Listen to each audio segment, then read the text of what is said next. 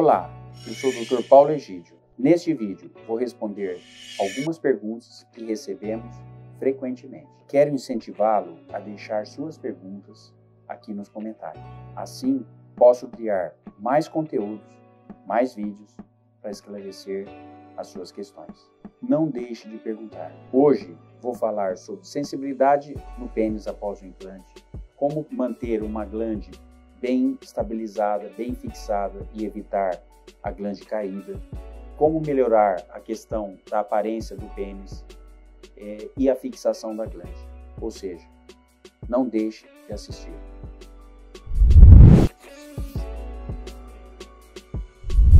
O que esperar da temperatura do pênis após o implante da próstata peniana? O que faz irrigar o pênis é o estímulo sexual, ou seja, a atividade cerebral do erótico vai permitir a vasodilatação dos corpos cavernosos e ter maior fluxo de sangue dentro da esponja do corpo cavernoso. Esse maior fluxo que vai determinar o aquecimento do pênis. Como funciona o implante da prótese peniana? O objetivo é colocar o implante perifericamente, preservando ao máximo a esponja. Para quê? Quando o paciente se erotiza, o fluxo na esponja, a ereção residual que ele tem antes do implante seja preservada ao máximo. Consequentemente, mediante o estímulo erótico, o sangue flui e o pênis vai se esquentar. Jamais avaliar a temperatura do pênis em qualquer situação, por exemplo, sem estímulo sexual. Se você avaliar pré-implante, você vai ver que a tendência é ser mais gelado antes mesmo de fazer o implante, sem o estímulo sexual. O que não vai ser diferente após o implante. Ou seja, precisa avaliar após a cirurgia do implante sob estímulo sexual, como sempre foi. Após o implante, a sua parceira vai necessariamente perceber que você tem implante? Não necessariamente. Tem um paciente que a parceira não imagina que ele tem um implante. Por quê? Concomitante ao estímulo sexual, à relação sexual, a parceira está esperando que o seu pênis esteja ereto. Portanto, se está com ou sem implante, isso não necessariamente fará diferença e vai fazer ela perceber que você tem um implante. É muito comum após o implante, é, no, no relacionamento, a parceira até não perceber que o paciente tem um implante da prótese peniana. Do ponto de vista prático, a orientação que eu dou para os pacientes é que o comportamento durante a relação sexual, mesmo pós-implante, que seja muito similar à situação que ele tinha antes de ser implantado. A intimidade, a atividade erótica do, do, do relacionamento, isso tem que ser uh, o mais próximo que sempre foi, independente dele ter implante. Isso vai dar mais naturalidade ao relacionamento e vai permitir o aquecimento do pênis mediante o estímulo sexual e vai permitir maior naturalidade na relação, que permitirá que a parceira nem sequer eventualmente perceba que ele tem um implante. Quanto à perda de sensibilidade ou não após o implante da prótese peniana, o que é fundamental é entender a anatomia. Em cima do pênis passa um feixe de nervos e vasos que vai fazer a inervação e a irrigação da glande, da cabeça do pênis. Ou seja, esses nervos, esses vasos, eles são preservados principalmente com a utilização da lupa. A lupa é um óculos que aumenta o tamanho do que o cirurgião está operando.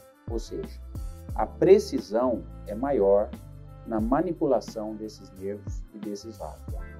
Consequentemente, a probabilidade de preservar não só o enchimento de glande, como a sensibilidade da glande é muito maior.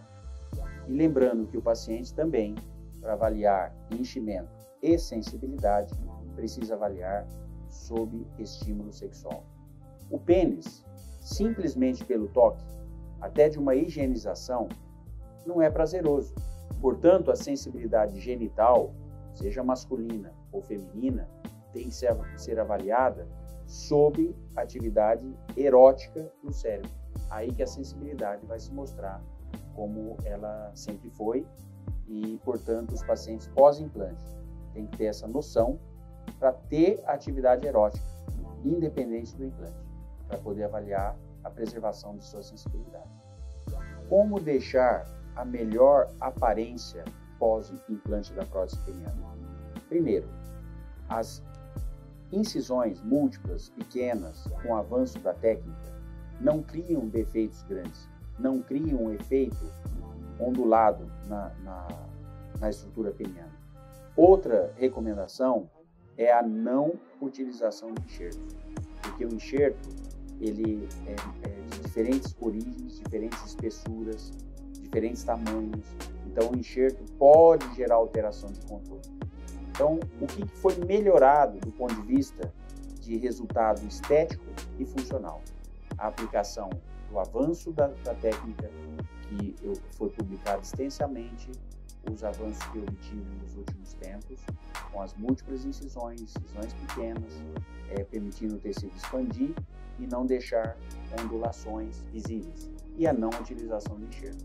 Essa combinação permitiu o resultado não só estético, visual, como funcional, com melhor firmeza vertical, extremamente vantajoso e os doentes têm ficado muito mais satisfeitos pós-implante. O implante da prótese, uma vez reconstruído o pênis para poder adaptar primeiro o tamanho e o calibre com a técnica da reconstrução, eu vou dimensionar o tamanho do implante para o pênis reconstruído. O que, que é importante? É importante que a dissecção e o espaço para eu colocar o implante, o implante não pode parar antes da glande. Ele tem que dar suporte e até mais no interior da glande para dar suporte de fixação da glande. Além disso, a fixação do implante maleável ou inflável na estrutura do pênis, na estrutura interna, evita que o implante venha a machucar a ponta do pênis, levando à extrusão, ou seja, a fixação do implante no local correto e dando suporte para a glande mais à frente, não aqui atrás, porque se o implante chega aqui atrás, o que, que vai acontecer com a glande? Vai criar um efeito concorde, aquela ponta de, de, de, daquele avião concorde.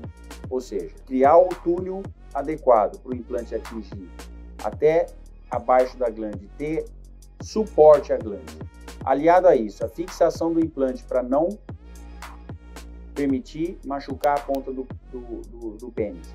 Todas essas variantes e cuidados, eles são fundamentais, não só para ter estabilidade da glande, melhor tamanho de pênis, não ter a glande caída, melhor enchimento e suporte à glande pelos implantes, porque a glande funciona como um chapéu vestindo a cabeça. Então o chapéu não pode parar aqui, o chapéu fica bambo. Precisa ter o chapéu um suporte abaixo dos cilindros para a glande realmente funcionar como um chapéu e ficar bem adaptada à extremidade do implante. Um outro detalhe é, técnico para melhor resultado funcional e estético é quanto à base do implante. A base do implante que está dentro do corpo, ela vai se apoiar e é possível fazer a fixação para evitar que essa base venha a causar dano na estrutura e perfurar essa estrutura, ou seja, a fixação dá essa, essa segurança para o implante não se movimentar. E outro detalhe do ponto de vista funcional e técnico, seja para o implante maleável e principalmente para o implante inflável, que é o hidráulico. Cada vez usar menos extensores. O que, que são extensores? Existe o cilindro que eu escolhi, o mais próximo do tamanho do pênis que eu consegui chegar. Esse cilindro, o tamanho dele tem que ser o mais próximo.